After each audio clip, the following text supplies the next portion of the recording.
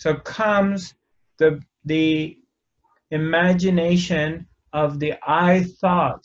I am someone separated from everything. My existence is very important and I have to defend it and make sure to preserve it that those senses come with it. But as this appears as a thought, then it comes the space and comes time with it. But why that space time disappears then when you are in absolute silence and you're still and you divert back your attention inwards to pre thoughts. And you go to this place, and you've all been there with me. All of you have been there. We've gone to this place many times together. And we go back to this place, and all of a sudden there is no time and there is no space. And your body also disappears. And it's just pure being. So, what happens to your body? What happens to your age? What happened to your story? Where do they go? Why do they disappear if they're so real?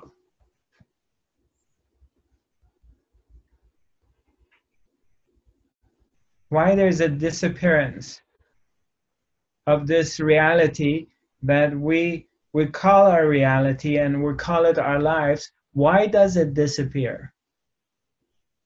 If it's really real, if it's that real,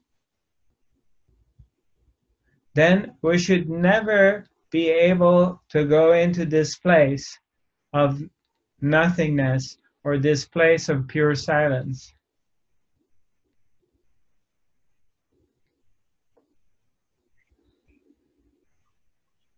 This place which is beyond, and you can see everything else from there, you would never have access to it. But when you are either in a waking state or sleep state, but now we're talking about waking state, and you're here and you're able to go beyond your thinking mind and you go into this place that there is no thoughts. There's not even the thought I, of I. That's the last place and your last post and you go even beyond that one. And you come to this place, and it's just pure being.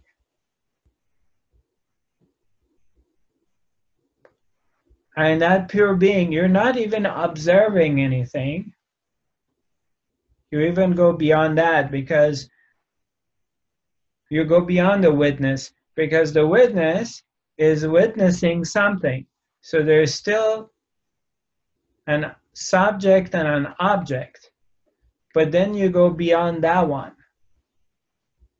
And it's just is.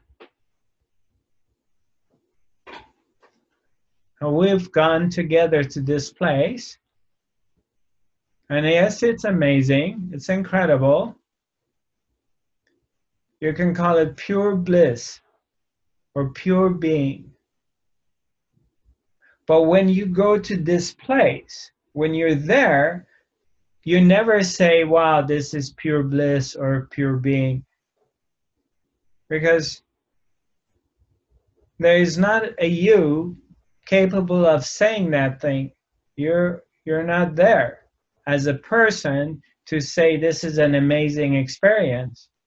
It's just that amazing thing is in the in those in that duration, but only when you come back and you pick up the I, I am Zarathustra, I am Monica, I am someone. So now you come back into time and space. Then you say, oh wow, Zarathustra, you know what? I was gone. I was one. I was completely blissed out. So, but not when you become the background.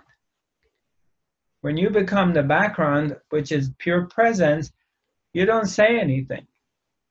Because there is no you, there is no separation. There's no someone there just saying, wow, I am I am one, I'm gone, I'm blissed out. Blissed out being gone is the only only reality which is happening and no one's there to experience it.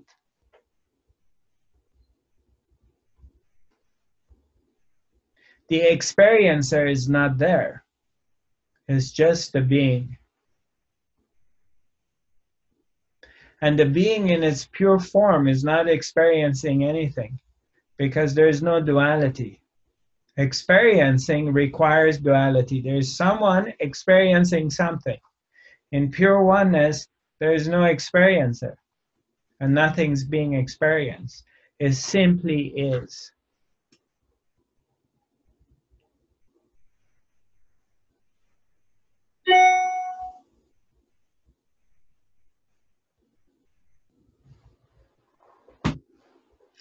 So it's virtually impossible for you, Monica, to die.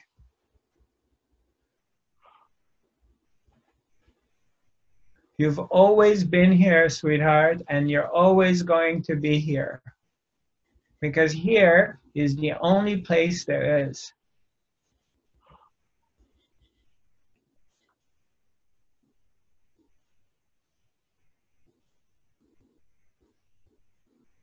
The body can die.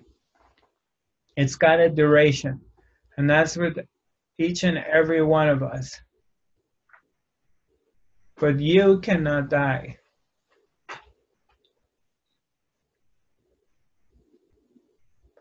And thoughts and feelings come, but they're just thoughts and feelings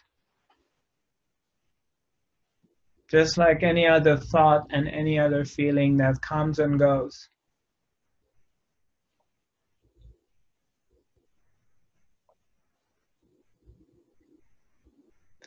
That's the good news.